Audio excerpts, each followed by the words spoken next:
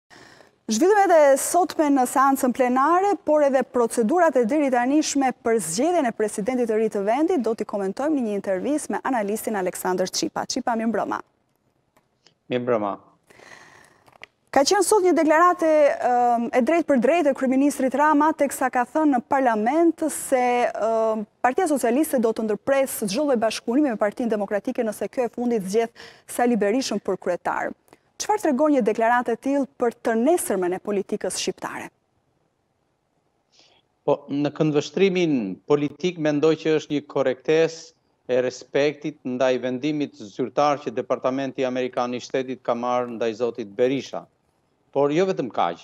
Pretendimi i zotit Berisha për të vazhduar në rrugën e kandidimit për postin e kryetarit të Partisë Demokratike, duke ndjekur rigorozisht një aksion politik të tij të njëanshëm, i cili atakohet nga një linjë tjetër brenda Partisë Demokratike, nuk është gjë tjetër veçse është një manovër politike e një politikani me përvojë dhe me kapacitetin e këmbënguljes, por natyrisht jo me të mbështetjes dhe aq më tepër jo me atë që mund të konsiderohet përcaktueshmëria në kontekst të një perspektive. Pse e them këtë? Sepse edhe pse nëse zoti Berisha do t'ia dalë që në mënyrë të njëanshme me palën masive që e mbështet brenda Partisë Demokratike, të realizojë rikthimin në krye të Partisë Demokratike, kjo është një fitore si e Pirros. Një fitore e cila nuk parasheh dhe nuk projekton as perspektivë dhe në mënyrë të veçantë nuk premton ambicien që ka një forcë politike për të ardhur në qeverisje. Po, por a duhet ta marrë parasysh Partia Demokratike këtë paralajmërim se zgjedhja e zotit Berisha si president ka një kosto? Unë mendoj që po. Vendimi amerikan nuk është thjesht një vendim politik. por është një apel i cili përsëritet nga zëri dhe komunikimi i çdo autoriteti amerikan, përfshi atë të ambasadores, por edhe të autoriteteve të ardhur nga Departamenti i Shtetit, në emër dhe në adresë të Partisë Demokratike dhe në mënyrë të veçantë të lidershipit të Partisë Demokratike.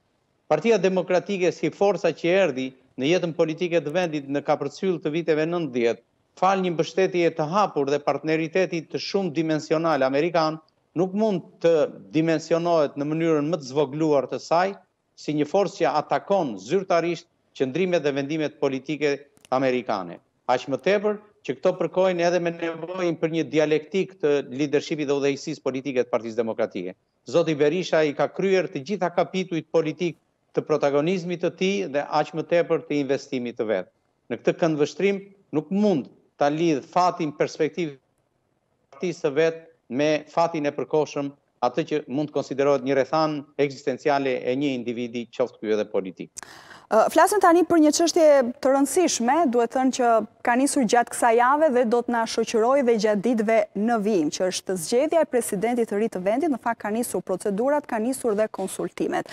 Partia Socialiste ka vendosur, sikurse e dimë, që të ketë propozime nga deputetët socialistë, ata i kanë bërë këto propozime, ende nuk dihen saktë cilët janë emrat, gjithsesi Flasim pak për procedurën Çipa. Opozita e ka cilësuar një farsë, se janë farsë pra që deputetë të Partisë Socialiste të propozojnë emra. Ty si të është dukur? Po, në fakt, në pikëpamjen e rezultatit, çdo propozim i opozitës mund të rezultojë vërtet një përdorim politik nga shumica socialiste dhe kryeministri Rama. Sepse ne nuk e kemi një punë përgatitore për selektimin e disa personave që ofrojnë me staturën e tyre publike dhe investimin e tyre shoqëror mbështetjen shumëpalëshe për të qenë figurë konsensuale dhe një profil i lartë i cili të gëzojë mbështetje shumëpalëshe. Kështu që në këto kushte, mungesa e kësaj pune përgatitore i jep mundësi Partisë Socialiste ta zgjedhë presidentin me lehtësinë e vet e vet politike, pa pasur nevojën për një mbështetje ose për ezaurimin në mënyrën më formale të një dialogu me segmentet e opozitës zyrtare të vendit.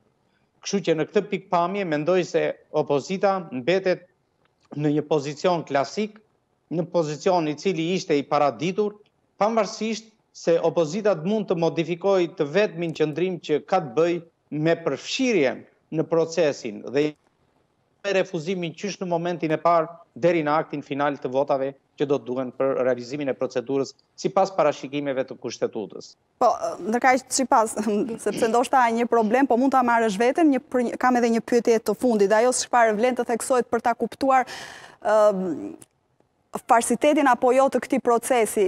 Kryeministri Rama mendon se ka paracaktuar një një emër, pra ka në mendje, ka në kokë presidentin e ardhshëm? Kanë vlerë, kanë vlerë këto propozime? Unë mendoj që është vetëm thjesht një aspekt formal dhe nuk është një proces substancial që të mund të përfitojë një kandidaturë e cila tejkalon apo dominon atë parapëlqim që mund të ketë kryeministri. Ndoshta kësaj radhe, zgjedhja e presidentit të Republikës realizohet pa ndonjë vështirësi të madhe politike siç kundër ka ndodhur në rastet e mëparshme kur kemi pasur edhe prag krizash por edhe vetë kriza. Ndërsa kjo është një procedurë që do të tejkalohet pa një krizë, por në rastin konkret nuk po jepen maksimalisht provat e një mbështetjeje popullore. Në këtë këndvështrim mendoj që vetë zoti Rama, me sa duket, është i interesuar për një president i cili të mbetet thjesht në suazën e përfaqësimit jo politik, por më së shumti të një korace morale dhe asgjë tjetër. Gjë që besoj nuk përkon me dëshirën publike. Në rastin konkret nëse do të ishte serioz paraqitja e një oferte e cila të gëzonte gjithë mbështetjen publike, vetë mënyra se si do të komunikohej dhe do të ndërtohej selektimi i figurave duhet të ishte një qasje tjetër, një qasje më e hapur, një qasje me një konsulencë paraprake shumëpalëshe, pse jo me përfshirjen e aktorëve me besueshmëri publike dhe me kredite të larta të besueshmërisë publike. Çipa faleminderit për intervistën.